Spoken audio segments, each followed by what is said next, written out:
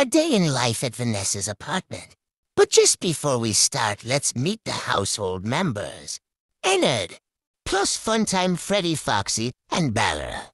Cassie, Freddy, Michael, Vanessa, Gregory, and Roxy. Did you put the littles to bed? Yes, I did. It was easy peasy. Hey, Cassie, you awake? You're supposed to be sleeping. Ennard, you're scaring him. Quit being so dramatic, Bella. The kid's fine.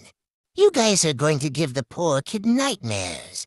You need to approach him gently if he doesn't want to sleep. This is why Michael doesn't have us do things for him.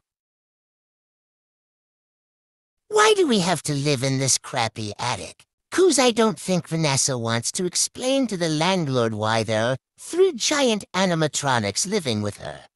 Three. Well, I mean technically six, but who's counting? hello again! Encore! Save me a dance for another day, perhaps. that thing is creepy. Ah, Freddy, help. Damn it, we lost him.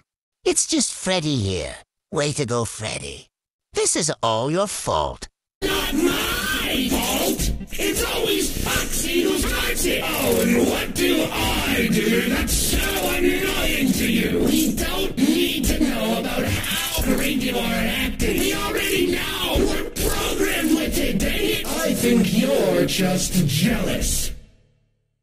Jealous! That's what I said. You think I'm jealous? Yes, I do. That is the dumbest thing I've ever heard in my life. If you two don't shut the fuck up, I will glad they let Michael scoop all of us. My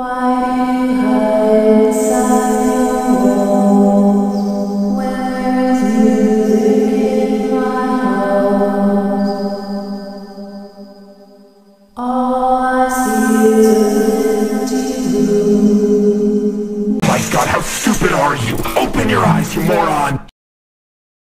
Oh no! Look what you did, Ennard. You made her cry. I didn't mean to. I was fighting with Freddy. So he's the one who needs to deal with the situation. Don't worry, guys, I got this. Get ready for a surprise! Where the hell did you get that from? Don't ask questions. I don't want to go to work. Can you just do my shift? You're humanoid enough. Bitch what? Me if I'm wrong, you got sacked, and Bonnie and I don't exactly look like we'd be clocking in for a night shift! Can't Foxy just steal someone's uniform? Need a uniform? Say no more! I did it once, I can do it again! So you're going to kill someone.